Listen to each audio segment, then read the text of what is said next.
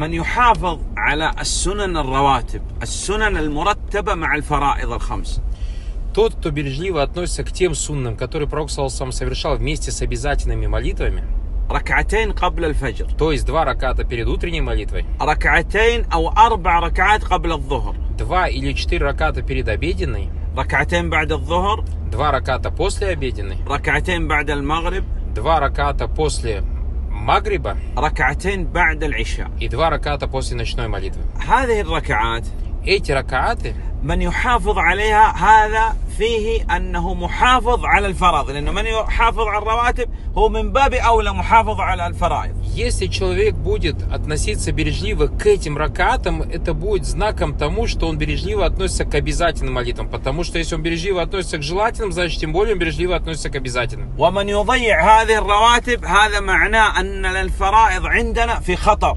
Если же он относится халатно к этим желательным молитвам, то в этом, указ... молитвам, то в этом указание на то, что он халатно относится к обязательным молитвам.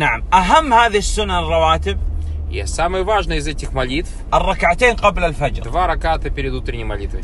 حافظ عليها النبي صلى الله عليه وسلم لم يتركها لا في حضر ولا في سفر Пророк сам так бережливо относился к этим двум ракатам, что не оставлял их ни в пути, ни находясь дома. وهي في الأجر أفضل خير من الدنيا وما فيها لو قيل إنسان نجمع لك كل ما على وجه الأرض من أموال وكنوز الركعتين هذه أفضل مما على وجه الأرض И награда за эти два раката больше и величественнее, чем все эти мирские блага. Про об этом сказал Пророк Салсам. То есть, если человеку соберут все мирские блага и предложат, два раката эти будут лучше для него, чем весь мир.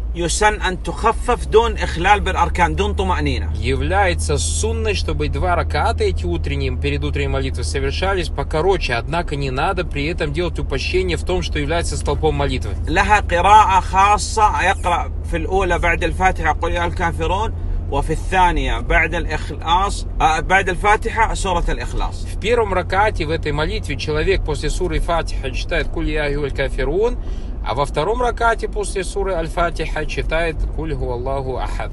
نعم فالأصل أننا نحافظ على هذه السنن الرواتب والله أعلم Основа то, что мы должны бережливо к этим желательным молитвам, которые пророк Салсам не оставлял, относиться бережливо. Аллаху алям.